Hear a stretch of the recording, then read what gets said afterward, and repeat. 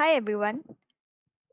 Welcome to today's webinar session on expanding your business to the Philippines in the new normal.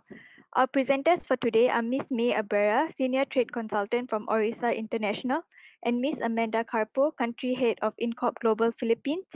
This presentation will be followed by a Q&A session, so kindly keep sending your questions in the question tab. In case you face audio difficulties during the webinar, please navigate to the audio tab, select computer audio. If it's already selected, please switch to no audio and reselect computer audio again. This will fix the issue. Also, the same link you received upon registering can be used for the entire webinar series. I'd now like to welcome our first speaker, Ms. May Abrera, to begin. Thank you. Hi, everyone. Good afternoon from Manila. Welcome and thank you for joining us in today's webinar. We all, I also would like to thank InCorp Global for inviting us to speak today about the Philippines. My name is May Abrera. I'm a trade consultant with Orissa International. I've been with the company for four years now, and I've been doing partner search projects as well as market research projects, not just here in the Philippines, but also in other key markets here in Southeast Asia. So for today, I will be discussing about doing business here in the Philippines. So I will be providing you a brief um, snapshot about our economy, our key sectors, as well as potential route to market. And after I speak, I will be passing this on to InCorp Global Philippines country head, attorney Amanda Carpo, who will be discussing primarily about establishing presence here. And after uh, we present, we will be happily discussing um, and answering questions that you may have.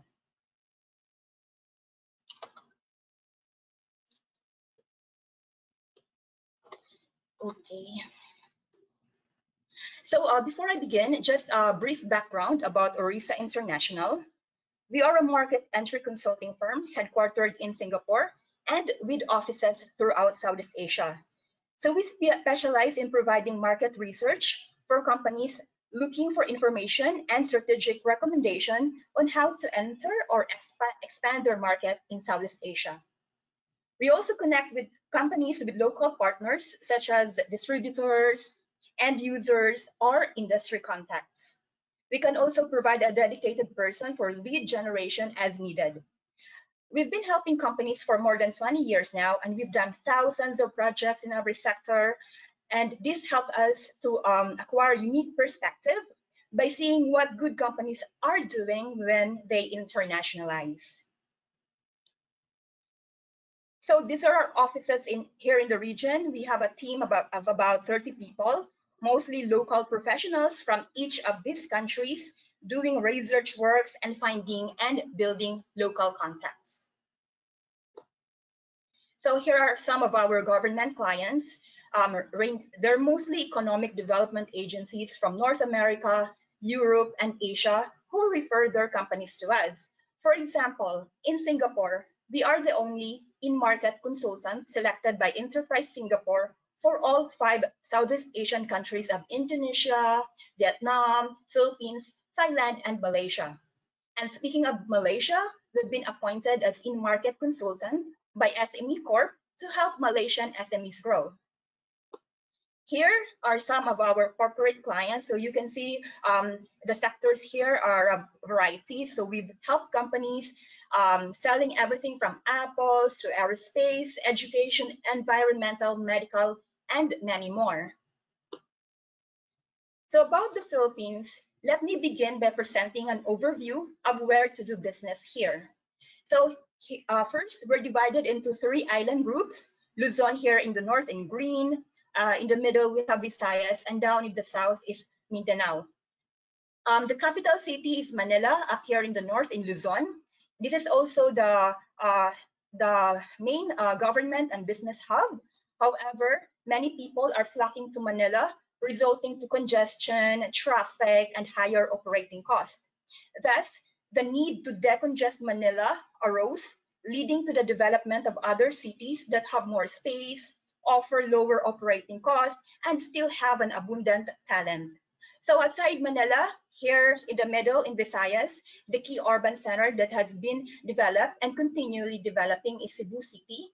Here in Mindanao is uh, Davao City, and also currently uh, being developed is the new Clark uh, City up here in the north, which is located 100 kilometers north of Manila and is positioned to become an alternative government hub, also as the next big business district in the country, and also as a smart and disaster uh, resilient city. Here's a brief economic snapshot of the Philippines. Um, in general, the economy of the Philippines is one of the strongest in Asia, one of the fastest growing in the world, and even with the pandemic, is still forecasted to post a positive growth this year.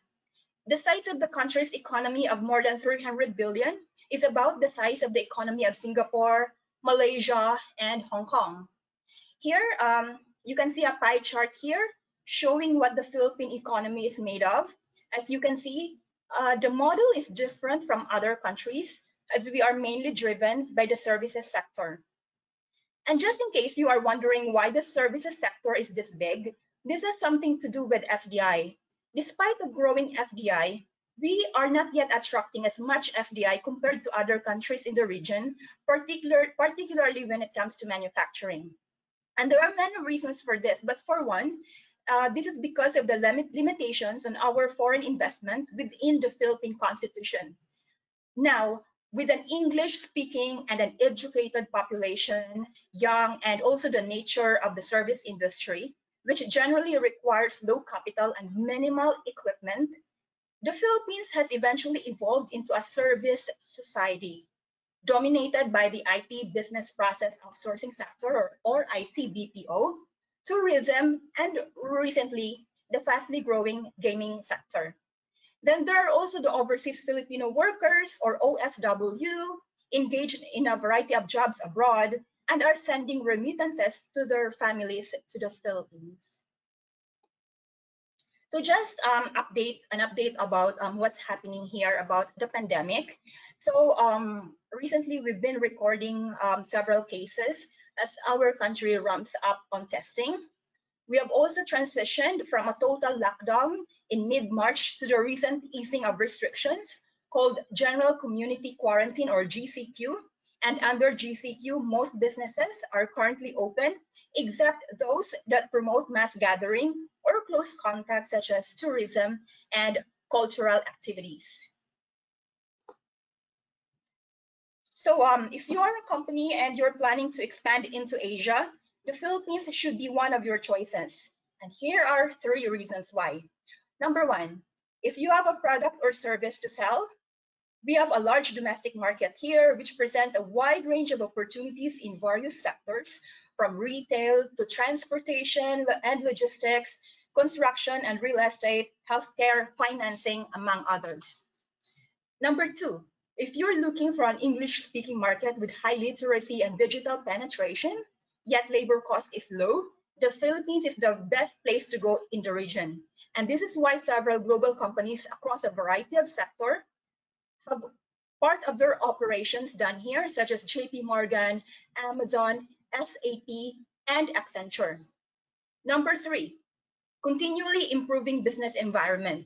So with the current administration, there have been a series of initiatives to address bureaucracy, such as the recent order to eliminate overregulation among government agencies, as well as in digitizing government transactions that are projected to significantly reduce business registration. Also, uh, recently, there are important bills for businesses that are under deliberation. One, there's a bill to gradually reduce corporate income tax from the current high of 30% to 20%. And number two, we also have um, a bill under review that would allow 100% foreign ownership in public services like transportation, communication, and power. So these are the three reasons why you should consider doing uh, business here in the Philippines. Okay, so let me briefly discuss about trade overview. As you can see here um, in this part of the slide, um, more, uh, import is much bigger than our export. And this is because, as mentioned earlier, the Philippines is a service-driven economy with a huge domestic market, market. Thus, this largely explains what you see in this graph. And it is also worth noting that because the Philippines is not mainly an export-driven economy, Disruptions in the export markets, such as the current pandemic, does have a negative impact um, to our country, but it is not as much as compared to export-reliant countries. Meanwhile, here on this side, you will see um, our top imports and exports. And as you can see, uh, electronic products are both um, the leading uh, products that are traded. And um, this includes office equipment, consumer electronics, and semiconductor components and devices. Let me also briefly show you the countries um, which are the top trading uh, partner of the Philippines. So you see here, except for the United States, all of these countries have a free trade agreement with the Philippines, allowing them to have zero or minimal tariffs on imports and exports.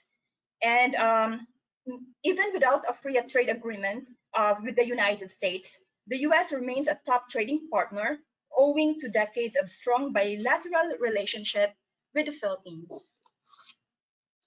So we now move on to discuss key sector in the Philippines.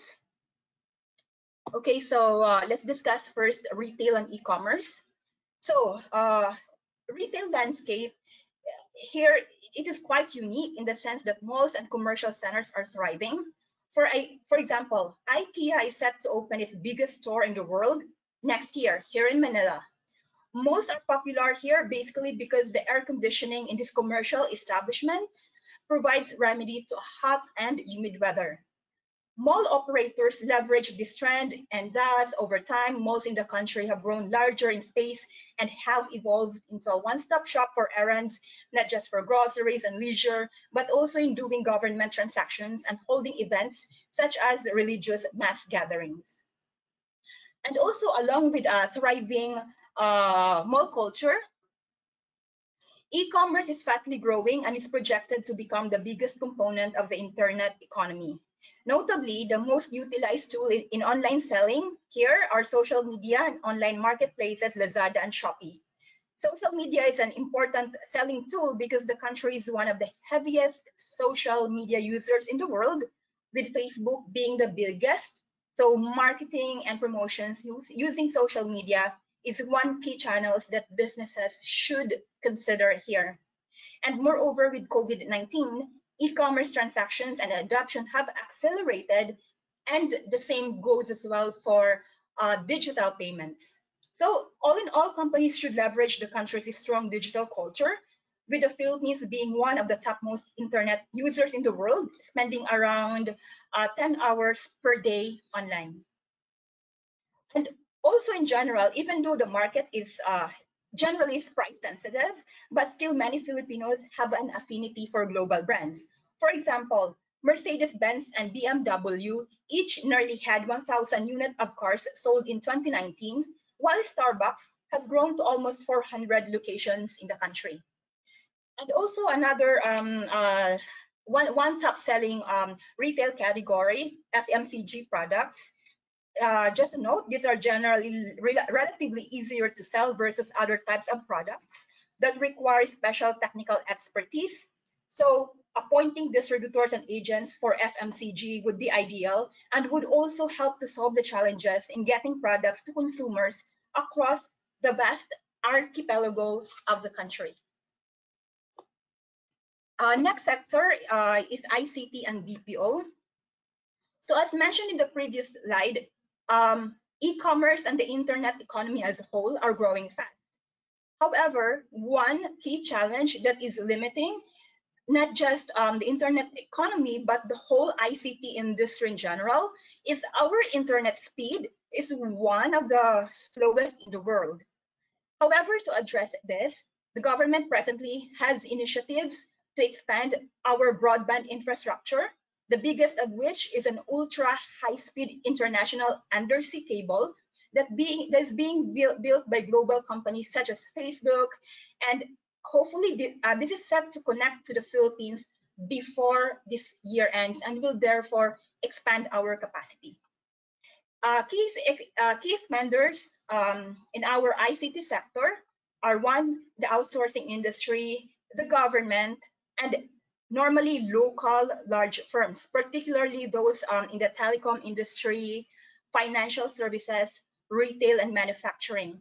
So notably with the pandemic's disruptions, also the demand for online learning has jumped and e-learning is to become a major component of the Philippine education system. And also let me uh, briefly discuss uh, the BPO sector since as mentioned, this is a top spender and one of the key components of the Philippines ICT sector. So our outsourcing industry has evolved into a variety of experts, expertise beyond customer servicing. Now we have digital marketing, legal accounting, financial analysis, supply chain, medical transcription, computer and IT services, and even management consultancy. So for example, many of the world's biggest financial institutions have back office operations here for processing of paperwork in investment banking or even fund administration.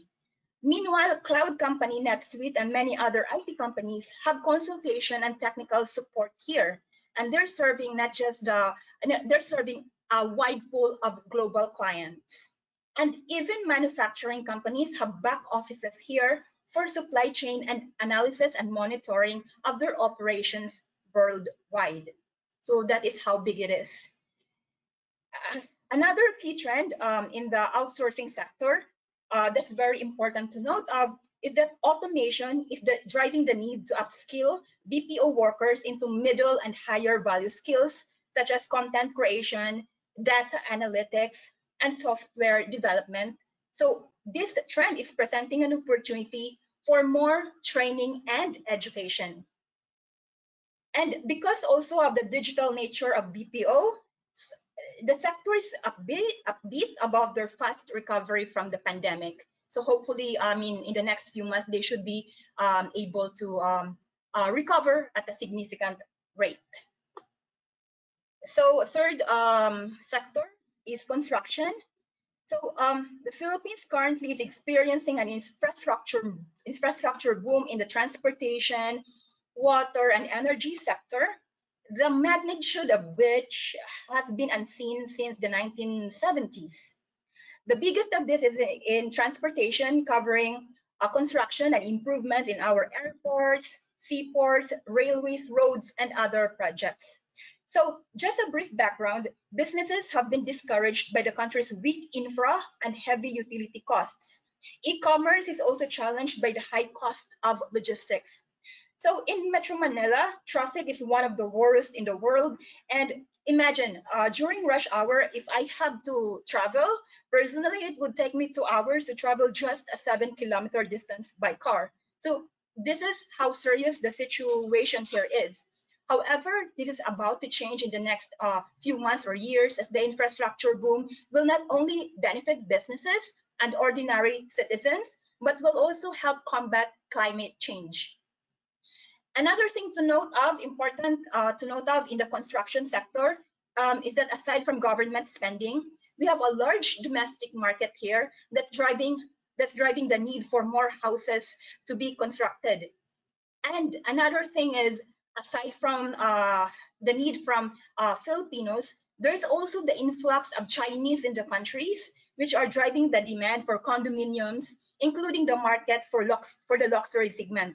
So these Chinese nationals are working in firms operating the Philippines, which offer online gambling services that they market outside the country. And currently, there's a lot of them, like about uh, 70 Chinese working in the industry, the bulk of which are in Metro Manila, and they are employed for their language skills as they are in charge of communicating to their colleagues overseas who play online games. So um, second to the last sector, manufacturing.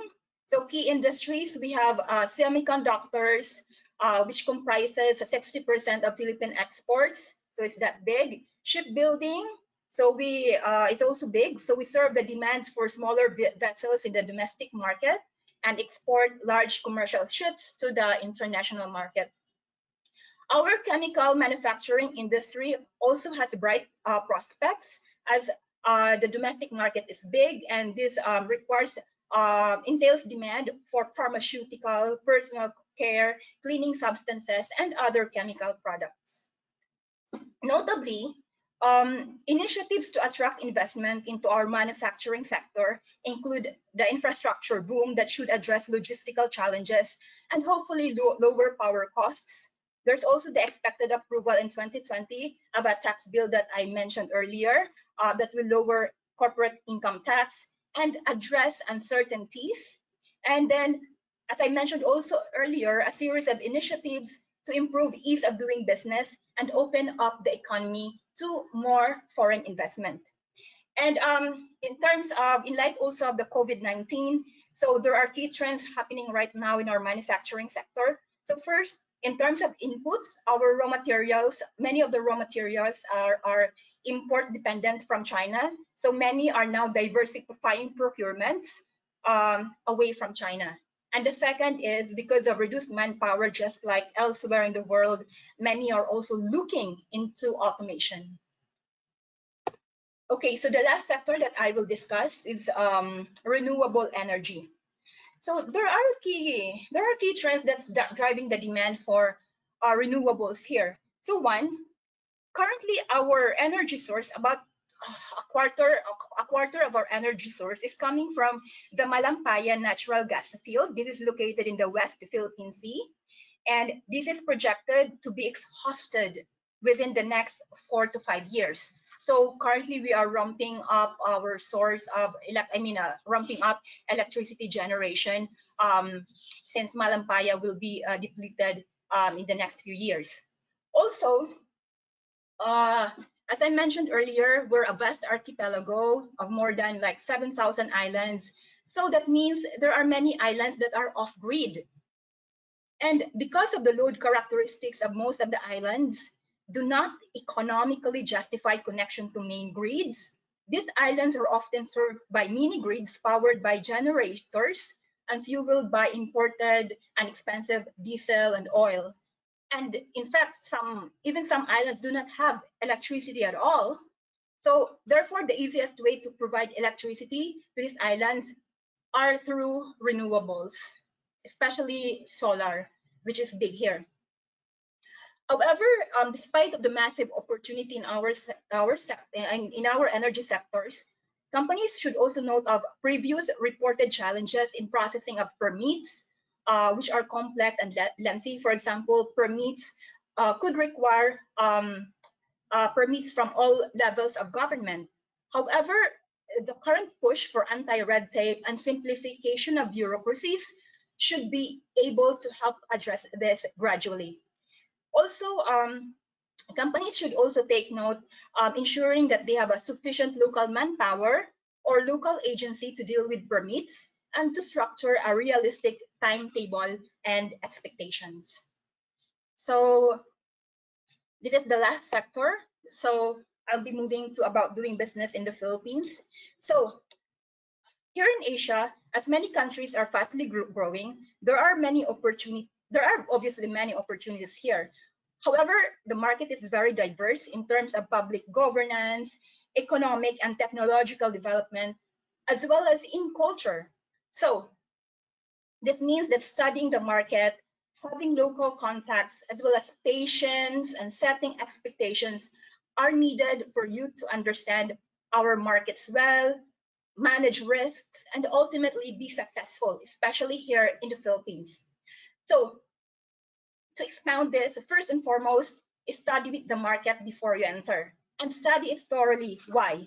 One, your study will help determine if the market is basically the right market for whatever it is that you're in, intending to do. Questions to ask, for example, are policies, infrastructure, supply chain, human resources, are these in place? How about cost and risk? How manageable are they? and how is the local market development for your industry? And most importantly, how easy can you obtain this information? Okay, so another uh, thing to consider about doing a study is that it, this will also determine your best route to market. Questions to ask like, um, one, is incorporation your best option? What about setting up a joint venture?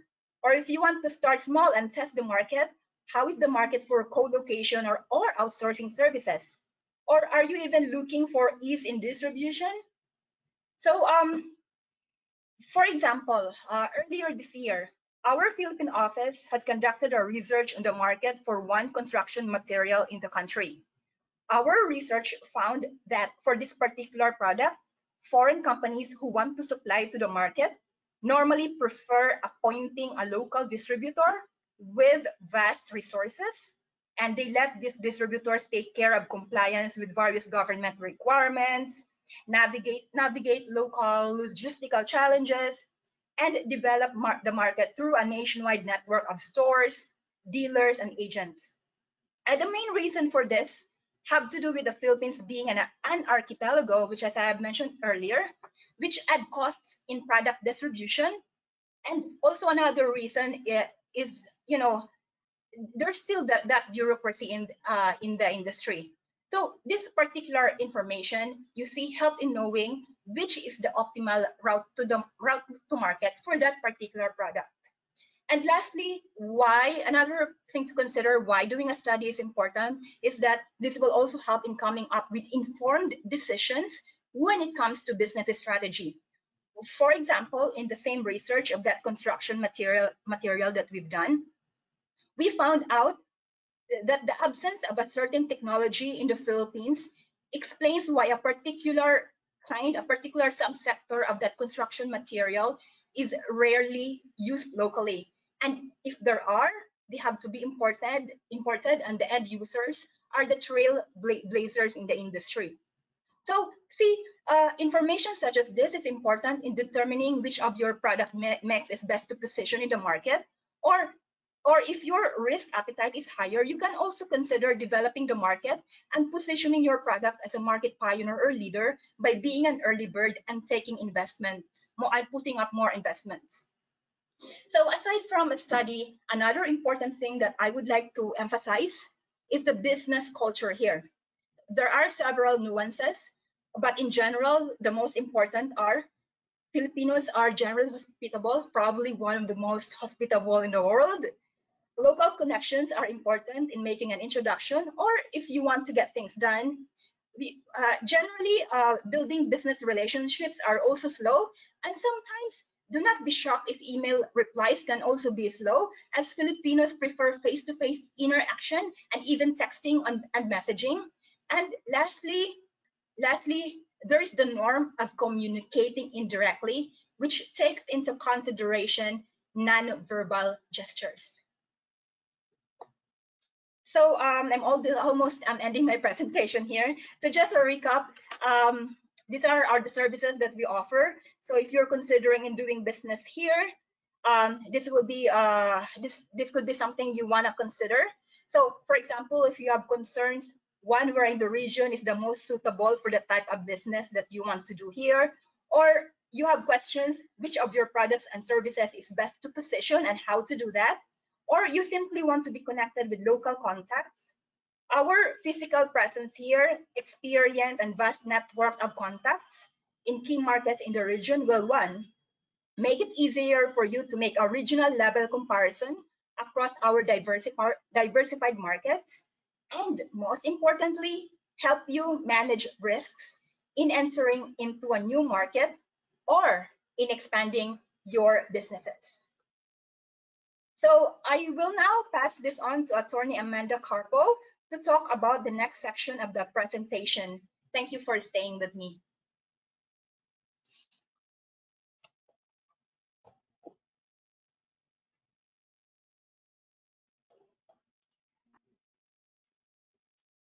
Thank you, May, for that very detailed discussion. As you were speaking, I saw many questions coming in, so it's clear that uh, it was very interesting and um, and thanks for that again. Um, hi everyone. Uh, my name is Amanda Carpo. I'm a practicing attorney and the country head of InCorp Philippines.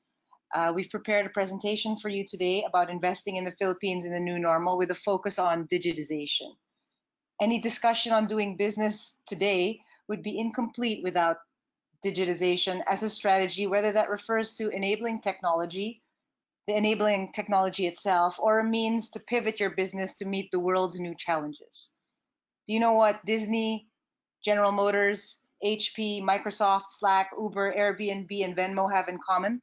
They were all businesses that were formed amid an economic downturn. A downturn can be a good time to start a business as there's less competition for resources and whatever we ch- whatever challenges that we face in the new normal brings new customer needs and addressing customer needs is at the core of any business. Is it a good time to start a business? My answer is yes.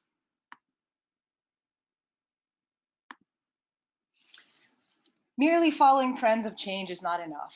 Just like organisms facing the great oxidation event, organizations need to reinvent the way they interact with the changing world. They must recognize when an existing model has run its course and evolve. They must create new innovative processes that take advantage of the most abundant and available resources. They must prepare for future upheavals by developing systems with interchangeable parts, produce faster, scale faster, work faster.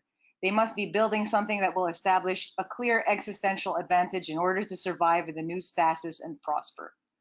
Any guesses on what the great oxidation event was? Scientifically speaking, that's when cyanobacteria created free oxygen in the Earth's atmosphere 2.3 billion years ago, and it was the beginning of life on Earth. In the beginning, there was chaos. This global pandemic has wreaked havoc on economies and on our daily lives. Entrepreneurs such as yourselves look at the world and see what needs to be improved and changed, and it is the yearning for a better world that fuels business and that's why we're discussing this today. So in a McKinsey study, uh, shows the first mover advantage. That means that you can gain a competitive edge by being the first to come out of this pandemic to start a business. Companies that move early and decisively in a crisis do best. And the Philippines is a good market for experimenting, for startups, for lower cost labor and operations as well, and as well as being a market with with a unique demographic advantage, as uh, May had discussed earlier. So the four modern technology vectors, obviously, that are involved in digitization are cloud computing, AI, big data, and the Internet of Things, or IoT. Cloud computing refers to the ability to access shared pools of hardware and software resources, networks, servers, data storage through the internet. This was pioneered by Amazon or Amazon Web Services, and today cloud computing is what enables this webinar. It enables us to work from home.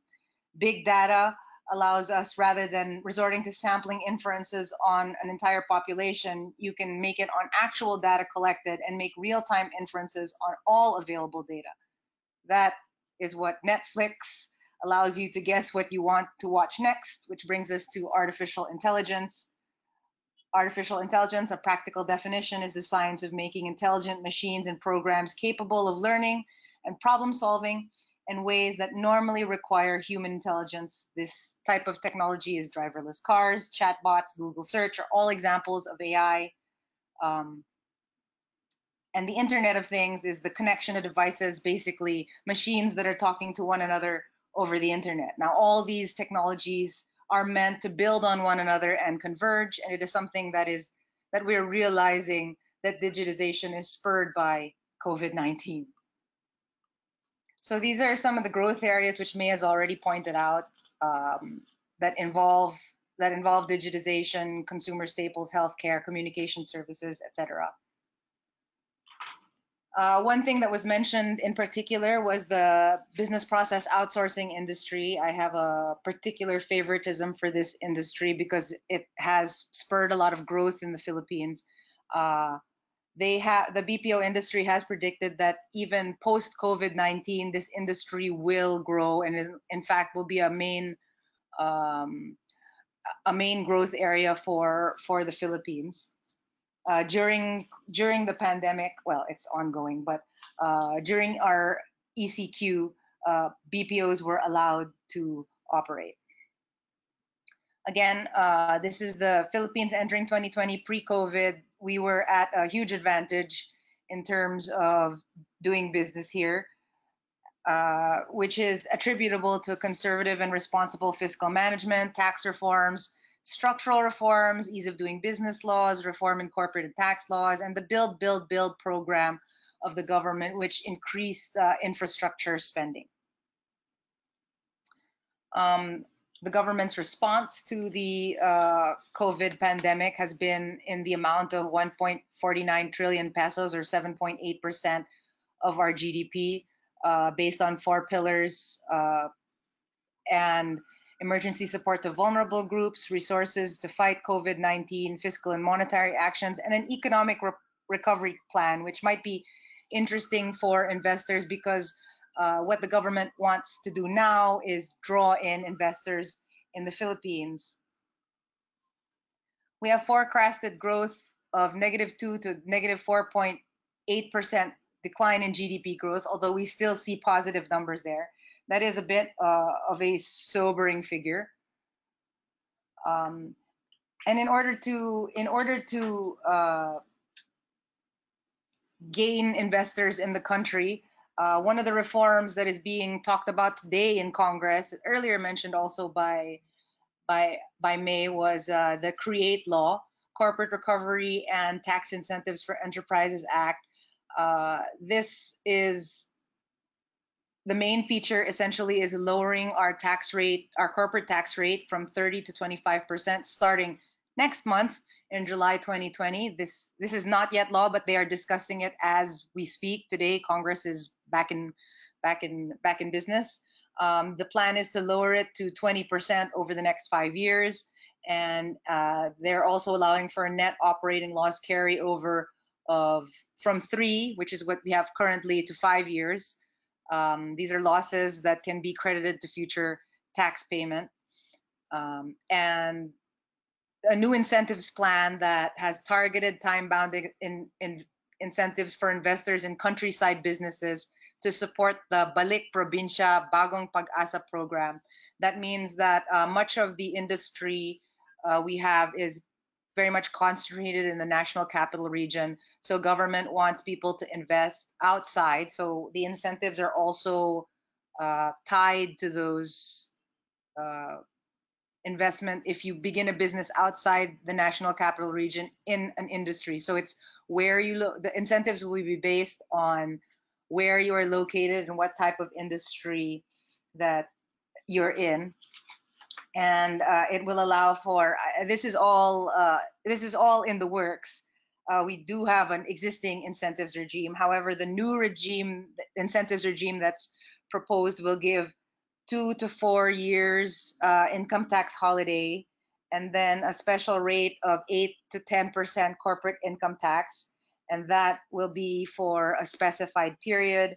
Um, so it's first for two to four years for the income tax holiday, and then on years three and four, a special rate of income tax of 8 to 10%, depending again on where the business is located and where uh, what type of industry uh, the government feels that it would like to promote. Normally, these relate to export related industries, but uh, there is a push towards, uh, there's also a push towards uh, e commerce, digitization, new technology. There's also a push for the Build, Build, Build program that's again increasing infrastructure infrastructure spending. In my experience, uh, we have had a lot of clients come in wanting to start businesses in the Philippines that are related to construction. So definitely watch the, the in this week and next week. Um, we're going to be hearing uh, whether these changes are happening. Part of the reason for the lowering the corporate income tax is also to help local businesses recover from the effects of the uh, extended quarantine that we had here in the Philippines. We also have structural reforms. Um, so we have uh, economic liberalization bills. We have a House bill uh, reducing foreign equity or allowing 100% foreign equity in certain industries that were that are normally reserved for uh, for Filipinos or must have partial uh, Philippine equity uh, as well as ease of credit and regulatory reform to improve the competitiveness of the Philippines. We're going to see a lot of this next month and all the way up till June 2021 because they are Congress is working on their budget currently. So, uh, you know, my personal feeling is that digital transformation in the Philippines is the sil silver lining It is the fourth industrial revolution. I think there's a lot where the Philippines uh, can improve, can pivot, can strategize, can begin. This is a good atmosphere for for startups uh, because of our demographics here in the Philippines. We have uh, a good penetration um, with uh, cell phones, internet, a young population, which is also which also contributes to the um, uh, which also contributes to the uh, uh, consu consumers and the people who have jobs. So again, um, there are certain challenges also that also will require attention. These work from home arrangements and uh, telecommuting, which is what we're doing now. We would we this is my first webinar. I think I, I, I have spoken in public. I'm used to seeing faces.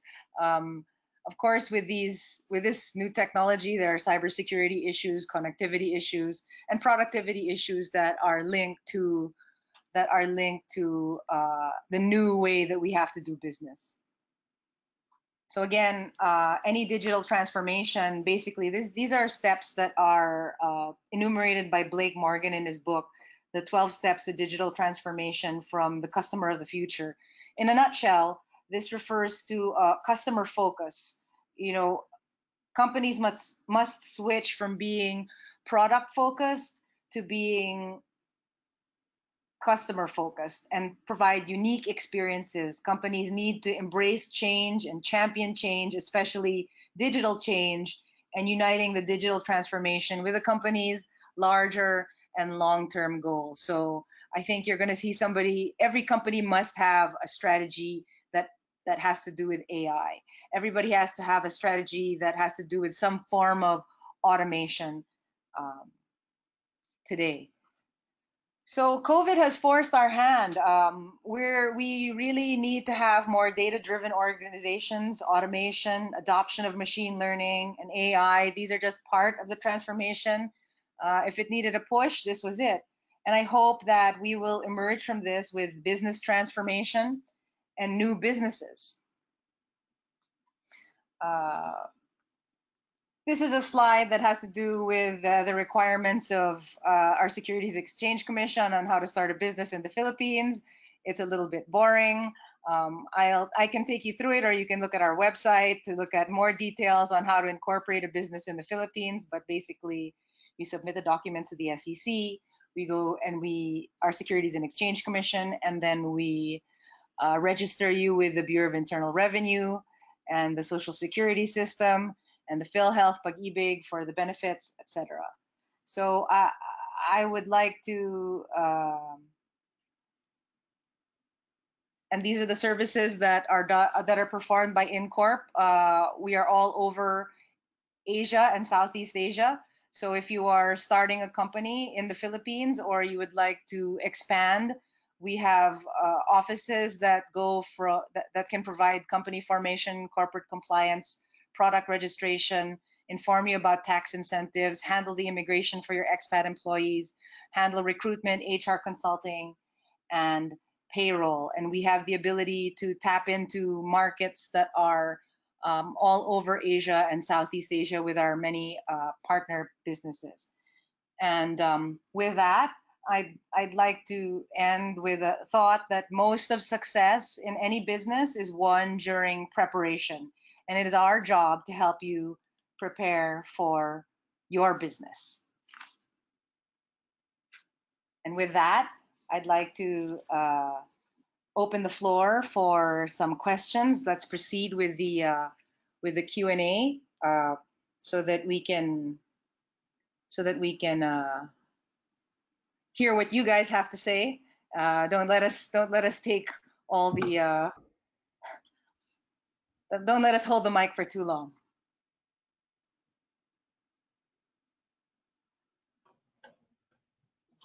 So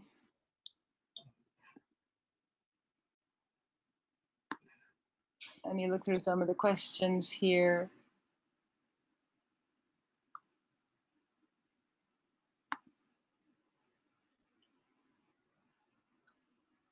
Uh, so um, Amanda, um, uh, yes, so um, Amanda, go ahead, sorry. No, go ahead. Yes. Uh, so uh, maybe May can answer this one. Uh, are there any changes that, because you discussed it in your slides, are there any changes that allow 100% foreign ownership for setting up uh, food and beverage with uh, lower registered capital? With uh, lower uh, registered capital, and is this for foreign ownership, 100% foreign ownership, right? Yes.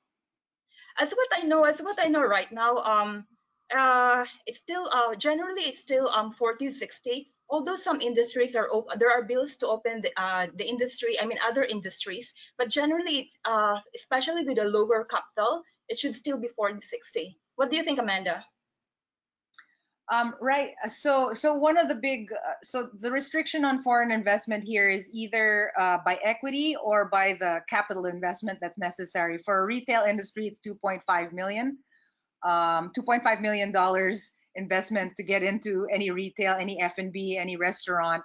That would be the minimum requirement. So that's that's a bit restrictive.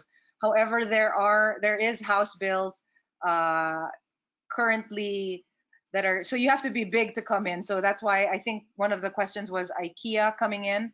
Um, it's the big players that get to come in, and the smaller restaurants, smaller shops are it's quite restrictive for them. There is a House bill in place um, that will that should be discussed in Congress uh, that that is meant to lower the requirement to two hundred fifty thousand dollars. That is not yet a law, but it is in process, and perhaps now with the uh, with the pandemic, things tend to move along faster here because Philippines is opening its doors uh, to foreign investment and or in order to recover. So uh, it's it's it's in the works is the answer. Agree, agree. Um, how about this question? Uh, any suggestion for a for growing a strong foreign Asian brand in the Philippines compared to the Western foreign brands? And are Asian brands popular or influencing in the Philippines in general? May maybe you want to take this one as well. Uh? Okay, so uh, yeah, yeah. So um, the, that uh, yes, uh, Western products here, both from uh, North America, both from Europe, are very popular. But also, so does um, Asian products. So um, there are many there are many factors about this. So Western, because of uh, Western influence and the perceived uh, uh, perceived quality is high. However, what's prohibiting for more uh, uh, foreign retail brands to uh, for a, uh, I mean for to have a big market here number one is price. As I mentioned earlier, our market is very price sensitive. However, there's a market with this depending on the product, especially products that have that has a high level of technological um, um, technological um, um input in it. For example, um, Apple. Apple uh, iPhones are is a premium uh, cell phone for for anywhere in the world, but it's also very popular here. Not only because of the engineering and the technology that went into it, but also because of branding. So um, it depends how you position your product here. Now, as to Asian products, it also depends. Uh, for traditional products, for traditional products that can be um, um, easily uh, sourced here, that would mean that it will be um, uh, uh, very easy to sell, just like coffee, just like a tea. And um, also Korean products are also very popular. So uh, this one, so this one, um, the big draw for Asian products, normally it has to be with pricing and also familiarity uh, with the culture. So again, depends with the product and how you will position it. I think I think there's a strong market for Asian brands here. Uh, you know, I'd, I, I'd agree. I think I, I think Filipinos Filipinos love to shop. They love foreign brands, uh, whether that's local or Asian. They love Japanese. They love Korean. They love, well, traditionally we love Western Western brands. That that's I'm I'm speaking from I'm speaking from just observation. Um, so there's a question here in general to and this is this is a little painful for me to answer. In general, to incorporate a business in the Philippines, how long does it take? What needs to be in place, like how many directors are needed, what's the minimum investment uh, one needs to prepare to register a startup business in products and services. Uh, I would say, uh, in terms of timeline, um, we provide between 65 to 95 working days, so definitely plan ahead. My experience has been uh, due to this pandemic that the SEC has acted a little more quickly. Normally, that's the uh, normally the two places where you're going to have difficulty is in the Securities and Exchange Commission. But once you are done with that, everything, all the other registrations um, follow quickly. So it's between 65 to 95 working days. What needs to be in place? Um, ideally, you need a business address. Uh, you will need at least uh, two directors for, for a corporation. And in terms of the minimum investment, uh, for a domestic market enterprise, the requirement, a domestic market enterprise is one that sells products and services here in the Philippines uh, versus an export enterprise where at least 60% is uh, exported abroad. Um, the minimum capital requirement is $200,000.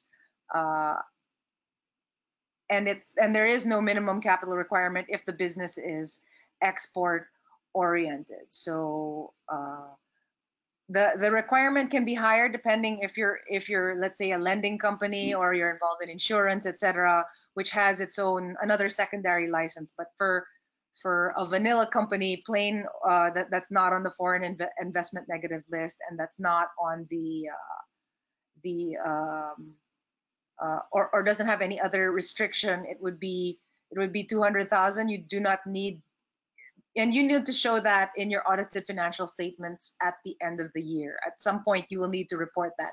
It used to be that you used to have you used to have to have the money in the bank uh, to show that you know this is a viable business, etc. It is the company's money, um, but yes, uh, that it, it the, the, that's the minimum requirement.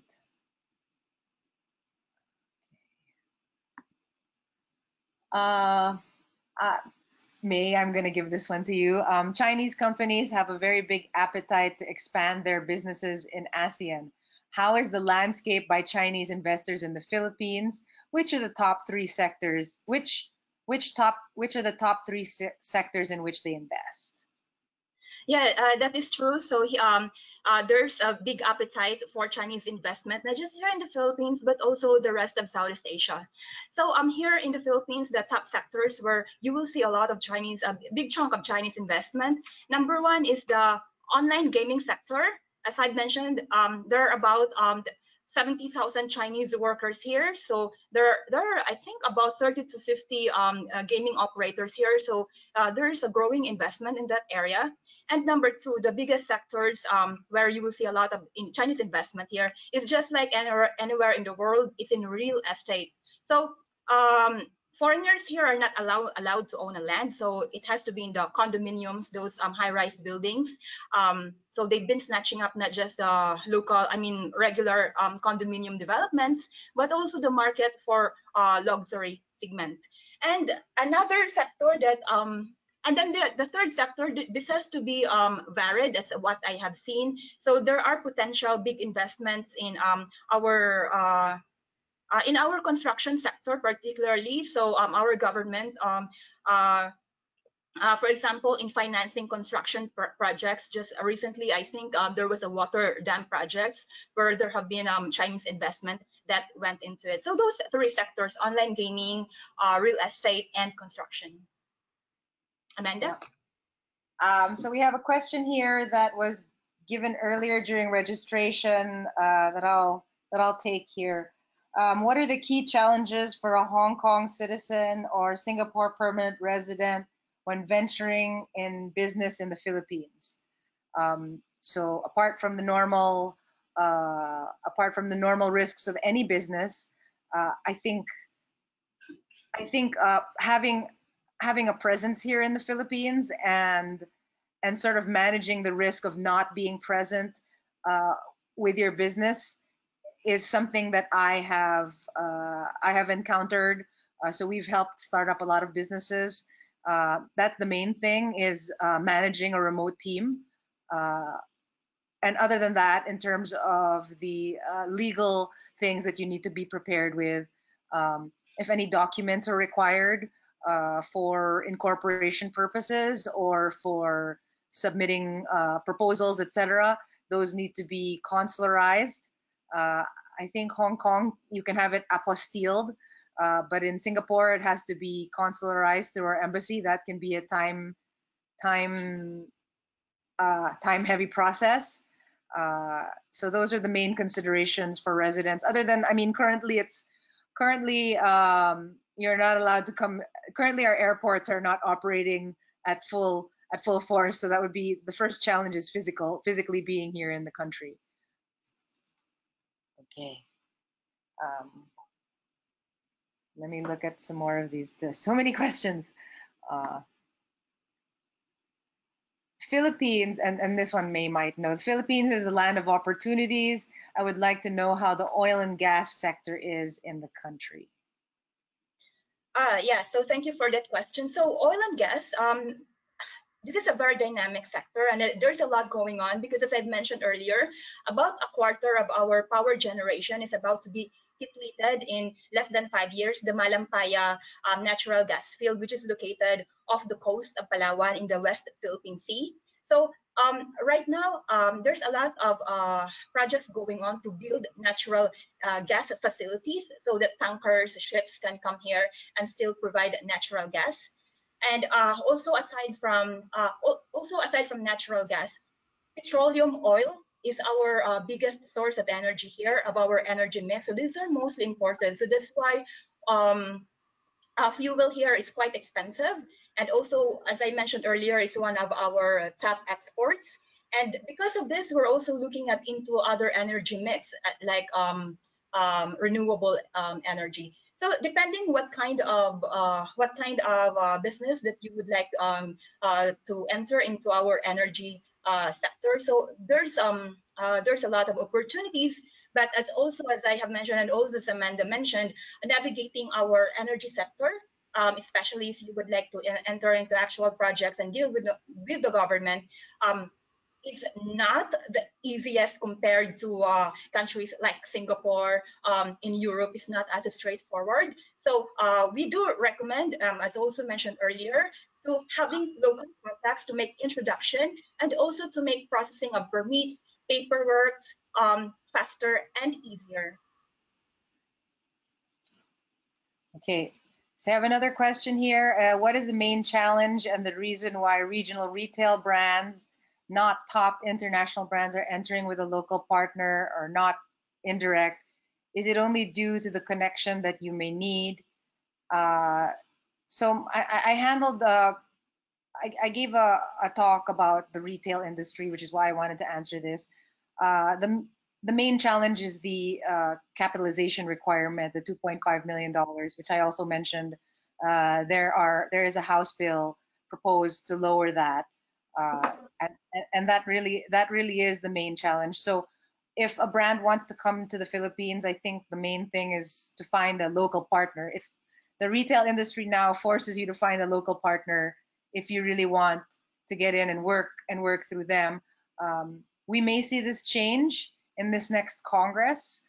Uh, and that's why the big retail brands are here. So we have uh, Carrefour, IKEA, uh, Uniqlo, coming in here, the Philippines, and and even then they have uh, partnered with the large uh, real estate developers here in the Philippines, the malls, uh, in order to get these uh, big brands into the country. So eh, yes, in any business you need connections. Um, but in, in the Philippines in particular, the to me the main restriction is the uh, the capital the high capitalization requirement. Um, and it is a capitalization requirement. It is not uh, it's not a fee, but it's it's sort of like you you have to be a big brand in order to have those numbers that that that we're asking. So uh, I think um, I think we've we've reached our uh, oh okay I just got word we have five minutes more. um, so I'm going to I'm going to let some more questions uh, come through. Uh, and this is kind of interesting. Um, how is the uh, medical hygiene, uh, especially women medic uh, female women medical hygiene sector in the Philippines? What are the chances for Indian or Chinese brands to develop their brands in this sector? I suppose this is feminine product, feminine hygiene products. Is there uh, a market for that in the Philippines? May maybe maybe you can provide some input. Okay, so uh, first, uh, first thing, uh, feminine hygiene product. Since um, this is a product that touches the skin and you know sensitive uh, sensitive parts, so well, one thing to consider first, one thing to consider is the product registration with our um, FDA. Okay, that's one. Number two, um, this has to go uh, uh, because this uh, product segment is very highly competitive.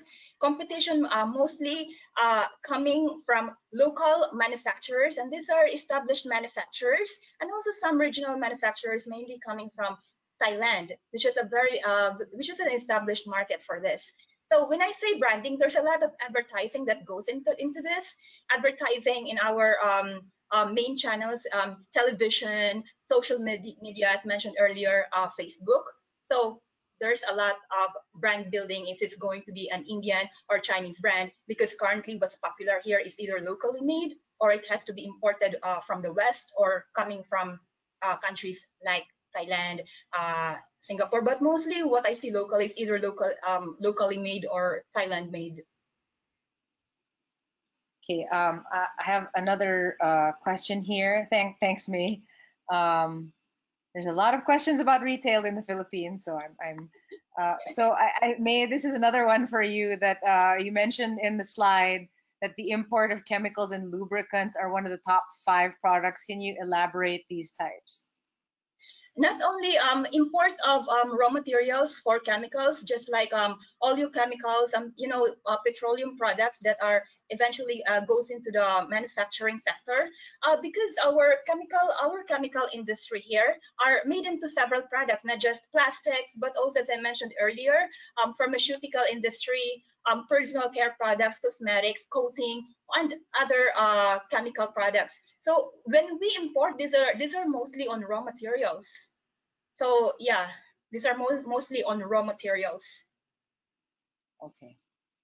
Um, and then we, have a domestic market the um the end um the end product. Okay. Thank you again. Um, so there's a, one last question I'm going to take uh, is the, the reduction of the corporate income tax rate to 25% is laudable. However, it is still marginally higher than the rest of ASEAN countries. I actually had a slide on this, but I didn't include it. Thailand has an impressive incentive for foreign direct investment. From a tax perspective, is there any advantage that the Philippines has over the rest of ASEAN? So uh, that's a very good question. Uh, it's the reason why uh, they have the CREATE bill that's being discussed in Congress today. Uh, the plan is to reduce it from 25 down to 20% in order to compete with our ASEAN neighbors, uh, so that that's not go to neutralize the uh, the tax advantage that Thailand might have. In ter- so in terms in terms of that uh, that they've recognized they've recognized that our tax rate is one of the highest in in the region in if in fact the, the world uh, our corporate tax rate so this is again meant for businesses to recover and for foreign direct investment to come in so that we can be more competitive. Um, May, do you have anything to add to that?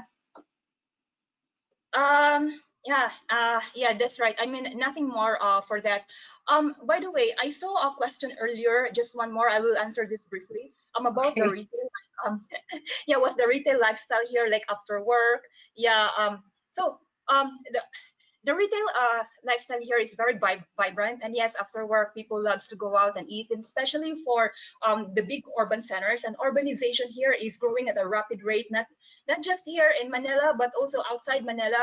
And because of urbanization that requires um, more products that uh, provide more conven convenience so people normally goes out i mean after work they eat out or they take out foods. So anything that make i mean for an urban lifestyle, any products or services that um, provides um, faster, uh, faster consumption and uh, very uh, convenient in terms of availability. availability. So that is um, big here.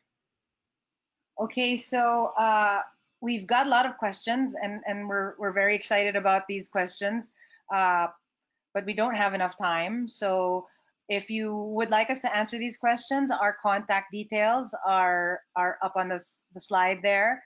You can email us directly. Um, uh, and and we'll, we'll be happy to answer you and happy to answer any questions about doing business in the Philippines and the market here. We want to thank you for your for your time and, and, and for listening to us today uh, about the Philippines. And we thank you for joining us. Uh, tomorrow, we will be exploring Indonesia's market, and we hope to see you in the webinar tomorrow. I'd like to thank my colleague May and Orissa, and I'd like to thank our InCorp team in Singapore who is uh, behind the scenes managing this. Thank you so much, and thank you to everybody. Please stay safe, stay healthy. Thank you, everyone. Have a good day ahead. Bye.